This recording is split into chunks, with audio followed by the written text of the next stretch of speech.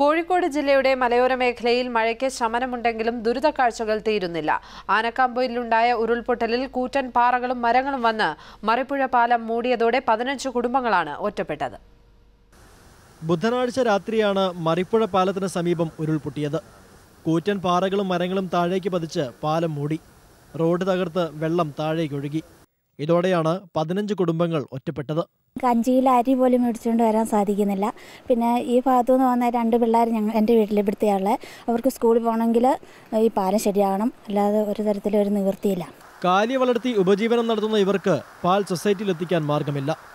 നാട്ടുകാർ ചേർന്ന് താൽക്കാലികമായി കവുങ്ങുപാലം നിർമ്മിച്ചെങ്കിലും കുട്ടികൾക്കും പ്രായമായവർക്കും ഇതുവഴി അപ്പുറമെത്താനാവില്ല.